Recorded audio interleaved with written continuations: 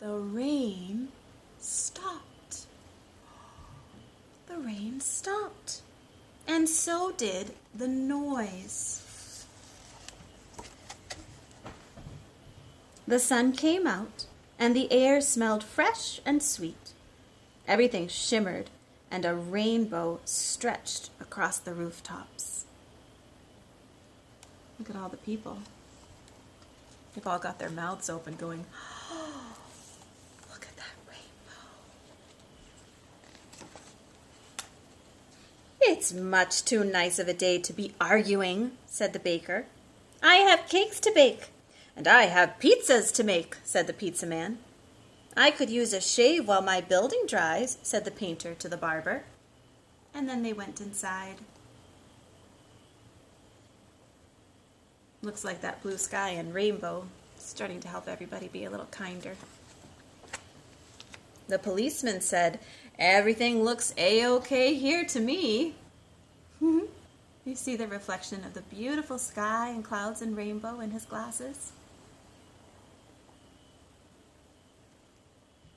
And he went back into his car.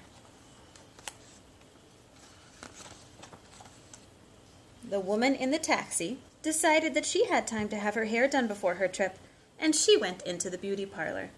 So the lady with the boxes got into the taxi and went home.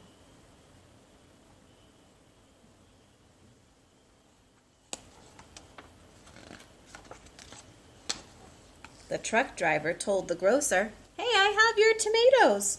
Wonderful, said the grocer, but first I have to pick up this fruit. The little girl and boy helped him so he bought them ice cream cones, and the ice cream man gave each of them an extra scoop because it was such a nice day.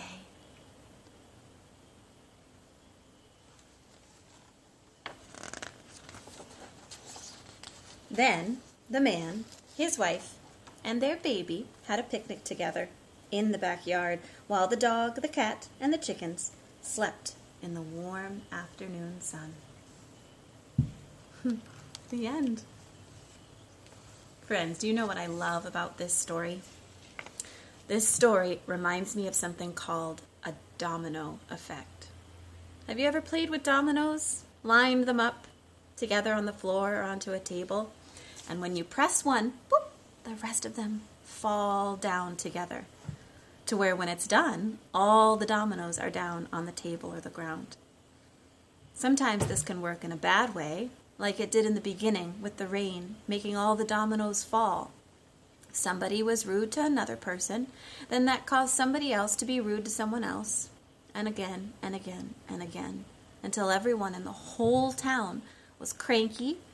All these terrible things had happened, and everybody was left wondering, when is this terrible stuff going to end?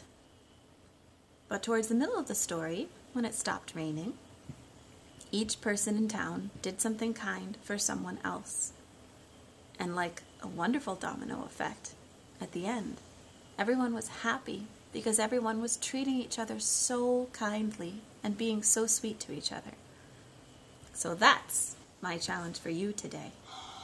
What can you do to be kind to someone else?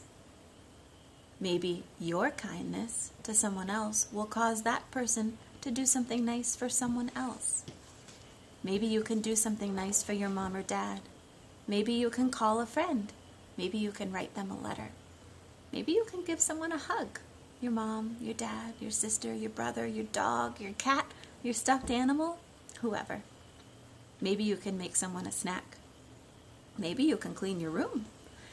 Maybe you can go brush your teeth or wash your hands the first time mom or dad asks you.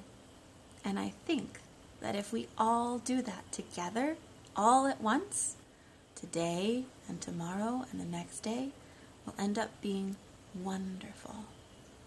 So take that with you today. That's your challenge. You go be kind to someone else and watch that kindness spread everywhere around the world. Love you, friends. Bye bye.